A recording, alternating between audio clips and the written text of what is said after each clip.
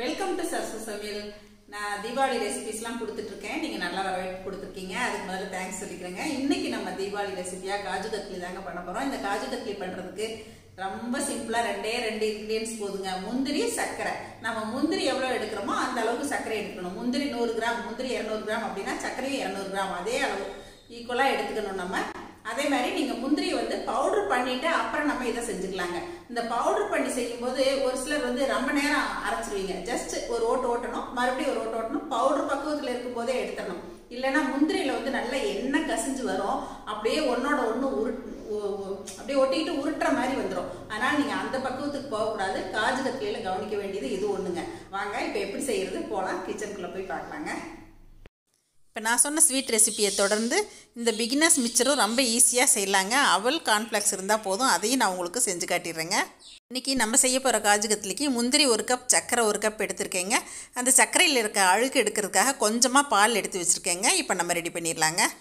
இப்போ நம்ம இந்த முந்திரியை மிக்ஸி ஜாரில் சேர்த்துக்கலாங்க. சேர்த்துட்டு பல்ஸ்லேயே தான் ஓட்டி எடுக்கணுங்க. ரொம்ப நேரம் ஓட்டக்கூடாது. அதுலேருந்து எண்ணெய் கசஞ்சு வந்துருன்னு சொன்னேன் இல்லைங்களா? அதனால் வந்து பவுடர் பதத்துக்கு வந்தோடனே நம்ம எடுத்துக்கலாங்க.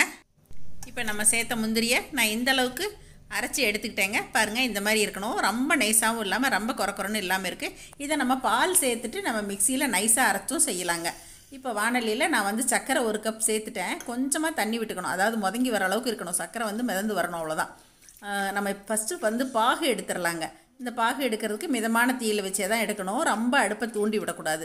இது நல்லா நுரைச்சி வரும்போது நம்ம கொஞ்சமாக இதில் ஒரு ரெண்டு டேபிள் ஸ்பூன் அளவுக்கு பால் விட்டுக்கலாங்க. பால் விட்டு அது நல்லா நுரக்கட்டி வரும்போது அதில் இருக்க அழுக்கு எல்லாமே வந்துடும் அந்த அழுக்கையெல்லாம் நம்ம வந்து இப்போ ஒரு கரண்டி வச்சுட்டு நம்ம ஒரு கப்பில் எடுத்து வெளியில் தூக்கி போட்டுடலாங்க இந்த மாதிரி நம்ம வந்து எல்லா அழுக்கையும் எடுத்துடலாம் இப்போ எடுத்தாச்சு. இது நல்லா கொதித்து வரணும்.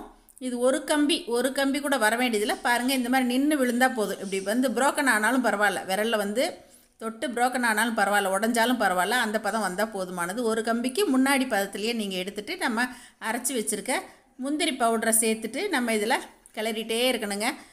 நல்லா கைவிடாமல் கிளறிக்கணும். இல்லைன்னா ஓரத்துலலாம் பிடிக்க ஆரம்பிச்சிரும். ரொம்ப கெட்டி பக்குவம்லாம் வேண்டாம். இதுக்கு நெய் கொஞ்சம் கூட வே- வேண்டியது இல்லைங்க இந்த மாதிரி நல்லா கிளறிட்டே இருக்கணும். பாருங்கள் கிளறல அப்படின்னா ஓரத்துல நல்லா செவந்து வந்துடும் அதுக்காக தான் கொஞ்சம் கெட்டியான வானலியாக இந்த மாதிரி எடுத்துக்கணுங்க. நீங்கள் நான்ஸ்டிக்கில் பண்ணாலும் ஓகேங்க. இப்போ இதை நம்ம ஒரு பிளேட்டில் எடுத்து விட்டாச்சுங்க. இது கொஞ்சம் ஆறணும். கொஞ்சம் ஆறுறதுக்கு முன்னாடியே நம்ம என்ன பண்ணணும்னா நம்ம வந்து ஸ்பூன் வச்சுட்டு அப்படியே கலக்கி கலக்கி விட்டோம்னா நல்லா இந்த மாதிரி குலகுலா பக்குவத்துலேருந்து கொஞ்சம் கெட்டிப்பட்டுரும். இதை வந்து கொஞ்சமாக கையில் எண்ணெயை தடவிட்டு எண்ணெயோ அல்லது நெய்யோ நீங்கள் தடவிக்கிங்க. நெய் தடவுறது பெஸ்ட்டுங்க எண்ணெய் தடவினீங்கன்னா தேங்காய் எண்ணெய் தடவிக்கோங்க. இந்த மாதிரி தடவிட்டு நீங்கள் உருட்டுனீங்க அப்படின்னா இந்த மாதிரி உருட்டுற பக்குவத்துக்கு வந்துருச்சுங்க. இப்போ இதை நம்ம வந்து பூரிக்கட்டையால் தேய்க்கணும். அதுக்கு வந்து ஒரு பிளேட்டை வந்து இந்த மாதிரி ட்ரே அல்லது பிளேட்டில் வந்து இந்த மாதிரி போட்டுருங்க. பின்னாடி பக்கத்தில் போட்டுட்டு இந்த மாதிரி நல்லா கையில் ப்ரெஸ் பண்ணி விட்டுக்கோங்க. ப்ரெஸ் பண்ணி விட்டுட்டு இந்த மாதிரி கட்டையால் நீங்கள் தேய்க்க ஆரம்பிச்சிருங்க. பாருங்கள் இந்த மாதிரி நல்லா வந்து நம்ம எந்த அளவுக்கு திக்னஸ் வேணுமோ அந்த அளவுக்கு தேய்ச்சிக்கலாம். நீங்கள் பிளேட்டில் வேணால் பின்னாடி ட்ரேயோ பிளேட்டில் வந்து கொஞ்சமாக நெய் தடவைனா தடவிக்கிங்க. நல்லா ஒட்டாமல் வரும். பாருங்கள் நெய்யே வேண்டியதில்லை. ஏன்னா இதிலிருந்தே அப்படியே உங்களுக்கு வந்து அந்த எண்ணெயெல்லாம் பிரிஞ்சு வரும். நம்ம தேய்க்க தேய்க்கவே தெரியும். அந்த எண்ணெயெல்லாம் கசிஞ்சு வரும். ஓரத்தையெல்லாம் நம்ம சமப்படுத்திக்கணும் இப்போ. இந்த எட்ஜஸ்லாம் நம்ம கட் பண்ணி எடுத்துடலாங்க. அதையும் நம்ம சின்ன சின்ன பீசஸாக போட்டுக்கலாம். இப்போ இந்த மாதிரி லைனிங் போட்டு வச்சுட்டு அதுக்கப்புறம் மறுபடியும் வந்து உங்களுக்கு விருப்பப்பட்ட ஷேப்பில் நம்ம ஸ்கொயராகவோ அல்லது டைமண்டாவோ இது வந்து காஜு கத்திலி வந்து டைமண்டாக தாங்க இருக்கும். அதனால் டைமண்டாகவே நம்ம பீசஸ் போட்டுக்கலாங்க. ரொம்ப டக்குன்னு ஈஸியாக வேலை முடிஞ்சிடும் பாருங்கள் இப்போ பீசஸ் நல்லா ரெடி ஆகிடுச்சு இது நல்லா ஒரு வாரம் பத்து நாள் வரைக்குமே நீங்கள் வெளியில் வச்சுருந்தாலுமே ஒன்றுமே ஆகாது. நான் ஒரு பதினஞ்சு நாள் ஆச்சுங்க செஞ்சு அப்படியே இருக்குதுங்க. இந்த காஜு கத்திலி ஸ்வீட்டு நான் ரொம்ப முன்னாடியே கொடுக்கணும்னு எடுத்து வச்சுங்க. ஆனால் இது போஸ்ட் பண்ணுறப்ப கொஞ்சம் லேட் ஆகிடுச்சுங்க அதனால தான் நான் இதோடய சரி ஒரு பிகினர்ஸ் மிக்சரும் ரொம்ப முன்னாடி எடுத்து வச்சேன். அப்போ வந்து திருவாரூர் அக்கா எங்கள் வீட்டுக்கு வந்திருந்தாங்க. வந்த அன்றைக்கி தான் நானே தான் அந்த மிக்சர் செஞ்சேன். அந்த மிக்சரையும் சேர்த்து இதோட கொடுத்துட்டா உங்களுக்கு யூஸாக இருக்குமே பிகினர்ஸ்க்கெலாம் செய்கிறதுக்கு அப்படிங்கிறதுக்காக. இப்போ இதை தொடர்ந்து இப்போ நம்ம அந்த மிக்சர் எப்படி செய்கிறது அப்படிங்கிறதையும் இப்போ நம்ம பார்த்துடலாங்க. வாங்க மிக்சர் வீடியோக்குள்ளே போகலாம் இப்போ. இன்னைக்கு நம்ம செய்ய போகிற அவல் மிக்ஸ் அவல் இந்த மாதிரி பொரிச்ச அவல் எடுத்திருக்கேங்க. பொரிக்கல்ல கடையில் நீங்கள் கேட்டிங்கனாவே இந்த மாதிரி பொரிச்ச அவல் கிடைக்கும். நல்ல மொறுமொறுப்பாக இருக்கும். இதை வாங்கிட்டு வந்து நம்ம சல்லடையில் சளிச்சு வச்சுக்கணும்.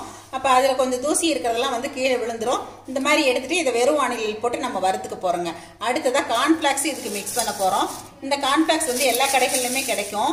நான் இப்போ வந்து ஒரு கப் அவலுக்கு முக்கால் கப் அளவுக்கு கார்ன்ஃபிளாக்ஸ் போட்டிருக்கேன். நீங்கள் எவ்வளோ வேணாலும் எடுத்துக்கலாம். நிலக்கடலை வேர்க்கடலைங்க.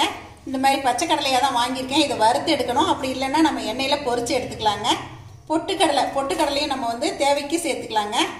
அடுத்ததாக கருவேப்பிலை. இந்த கருவேப்பிலை வந்து தண்ணியில் நல்லா வாஷ் பண்ணிவிட்டு இந்த மாதிரி ஈரம் போக நம்ம எடுத்து வச்சுக்கணுங்க. மஞ்சள் தூள் உப்பு தேவைக்கு சேர்த்துக்கிறோம். பெருங்காயத்தூள் கொஞ்சம் சேர்த்துக்கிறோம். மிளகாத்தூள் காரத்துக்கு தேவையான அளவு சேர்த்துக்கிறோங்க. இதெல்லாம் பொறிச்சிட்டு அப்புறமா தான் நம்ம உப்பு மிளகாத்தூள் எல்லாமே சேர்க்க போகிறோங்க இப்போ நம்ம ஒன்றொன்னா இதை இதை வறுத்துட்டு அப்புறமா எண்ணெயில் பொரிக்க ஆரம்பிக்கலாங்க. இப்போ நம்ம முதல்ல கார்ன்ஃப்ளெக்ஸை எண்ணெயில் பொரிச்சு எடுத்துடலாங்க. மிதமான தீயில் வச்சு இந்த மாதிரி கருக விடாமல் பொரிச்சிடலாங்க என் நல்லா எண்ணெய் காஞ்சிருச்சுன்னா டக்குன்னு ஈஸியாக பொரிஞ்சிரும் அடுத்ததாக கருவேப்பிலையும் போட்டு பொரிச்சிக்கலாம் கருவேப்பிலை நல்லா மொறுமொறுன்னு வர அளவுக்கு பொரிச்சிடணும் அந்த எண்ணெயோட சலசல படங்கினோடனே எடுத்துக்கலாம். இப்போ இந்த கருவேப்பிலையும் பொரிச்சாச்சுங்க இப்போ அடுத்ததான் நிலக்கடலையும் எண்ணெயில் பொறிச்சு எடுத்துக்கலாங்க. அதே மாதிரி இதையும் மிதமான தீலையே நல்லா கருக விடாமல் நல்லா பொறிச்சு எடுத்துருங்க. அடுத்ததாக பொட்டுக்கடலையை வெறும் வானலியில் லேசாக சூடு ஏற்றுனீங்கன்னா போதும். அதையும் வந்து இந்த கான்ஃப்ளெக்ஸோடு சேர்த்துடலாம் அதுக்கு அடுத்ததாக அவளுங்க. அவளுக்கும் வந்து என்ன வேண்டியதில்லை. கொஞ்சமாக மஞ்சத்தூள் மட்டும் போட்டுட்டு நல்லா சூட்லேயே பிரட்டி விடுங்க. அடுப்பை நல்லா குறைச்சி வச்சுருங்க. சிம்மில் போட்டுருங்க.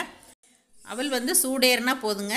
நம்ம இறக்கிடலாம் அடுப்புலேருந்து இந்த மிக்சர் செய்கிற அன்றைக்கி அக்காவும் எங்கள் சம்மந்தி வீடும் அரவக்குறிச்சிலேருந்து வந்திருந்தாங்க. இப்போ நானும் அக்காவும் பேசிக்கிட்டே இந்த மிக்சரை மிக்ஸ் பண்ண போகிறோங்க இப்போ பாருங்க அக்கா பொரிச்சு எடுத்தது எல்லாத்தையும் உங்ககிட்ட காட்டினேன்.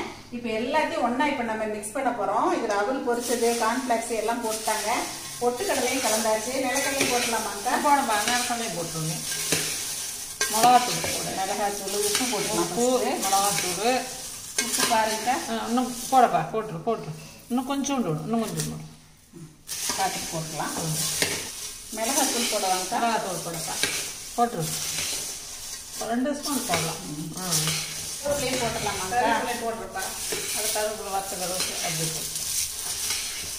அப்படியே அது எடுக்கும் போதே நுணுங்கிடும் என்னங்க ஆமா ஆமா ஆமா. ஏன்னா எண்ணெய்க்குள்ள ஓட வறுத்தணும் இல்லையா? பொரிச்சிடுறேன் அதனால பொரிக்கிறதுனால நல்லா மொறு முறுக்கு வந்துடும் வாசனையா இருக்கும். அதுக்கு போட்டதை எதிர்த்து மிச்சருக்கு போடுற மாதிரியே இதையும் போட்டா இன்னைக்கு இரநூறு கிராம் தான் கார்ன்ஃபிளாக்ஸ் எடுத்திருக்காங்க.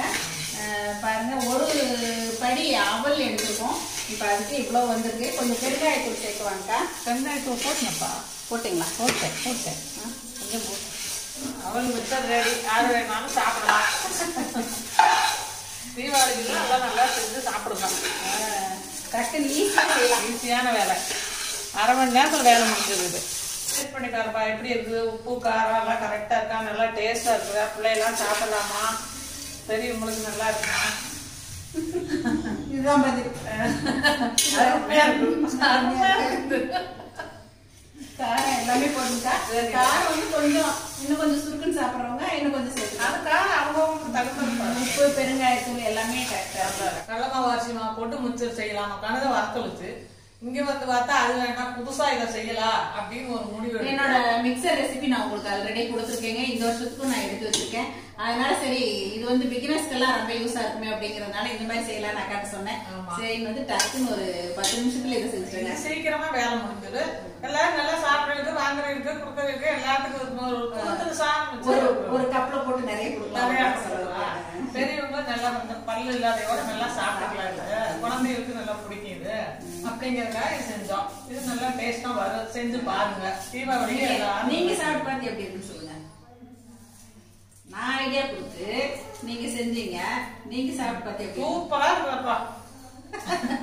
அக்காவே சர்டிபிகேட் கொடுத்துட்டாங்க. நான் சொன்ன ஐடியா அக்கா சர்டிபிகேட் கொடுத்துட்டாங்க. கண்டிப்பா நீங்களும் இந்த தீபாவளிக்கு இது மாதிரி எல்லாம் ஈஸியான ரெசிபிஸா ட்ரை பண்ணி பாருங்க. எங்க எப்பயும் போல உங்களோட ஃபீட்பேக் சொல்லுங்க ஷேர் பண்ணுங்க சப்ஸ்கிரைப் பண்ணுங்க. தேங்க்யூ சமையல் பாருங்க. சமையல் நல்லா பண்ணுங்க.